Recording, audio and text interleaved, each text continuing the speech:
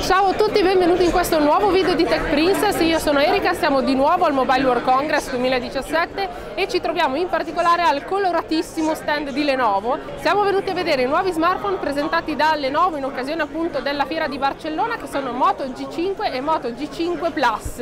Adesso se la mia operatrice gentilissima Arrivo. si appropinqua Arrivo. Non l'hai mai avuto un'operatrice così, zia? di pregio, no. Vai. Questo è il più piccolo, quindi è Moto G5, il display è da 5 pollici Full HD, è realizzato interamente in metallo perché Lenovo... Facci vedere il metallo. Guarda il metallo, Ok. Gua- guarda come riflette bene il metallo. Lenovo ha fatto una ricerca e ha stabilito che ai consumatori la mm, plastica non piace e quindi era molto meglio il, eh, il metallo.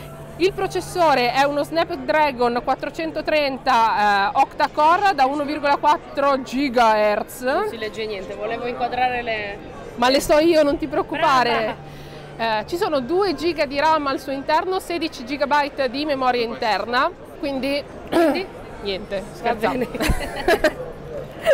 Volevo dire, quindi il telefono è abbastanza eh, veloce, quindi non vi accorgerete che è un telefono che ha un prezzo di 199 euro perché si comporta davvero bre- da- bene, Brene. davvero bene, davvero bene. Guarda come va veloce. Va come va veloce nello scorrimento di- delle news di sport di cui ci interessa relativamente poco, ma questo è un dettaglio. La fotocamera invece ovviamente frontale e posteriore. Posteriore è questa cosa qui.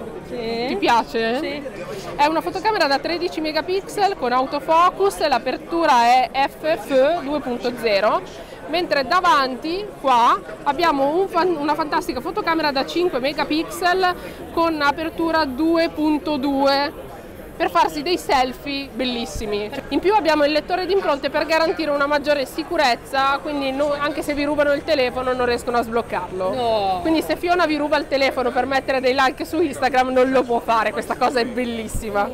Passiamo ora al fratello maggiore G5 Plus, Eh, quali sono le differenze? In, boh, se tu non sai mai niente. In, prima il dis- in primis il display, questa volta è da 5,2 pollici, la risoluzione è sempre Full HD.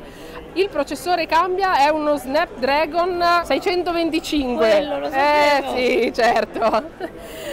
La RAM in questo caso è da 3 GB, mentre la memoria interna è da 32 GB.